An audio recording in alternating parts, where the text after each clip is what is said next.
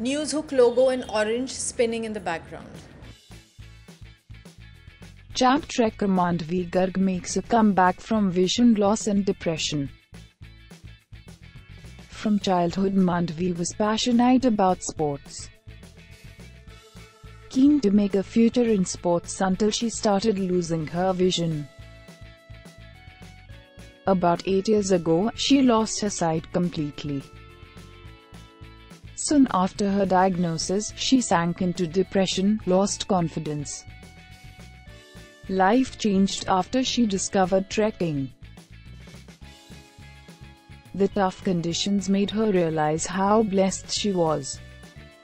Today she is a seasoned trekker with ambitions of scaling Mount Everest. Has done an advanced mountaineering course also a trained scuba diver and long-distance cyclist. Determined not to miss any opportunity to challenge herself. Her remarkable comeback is an inspiration to all.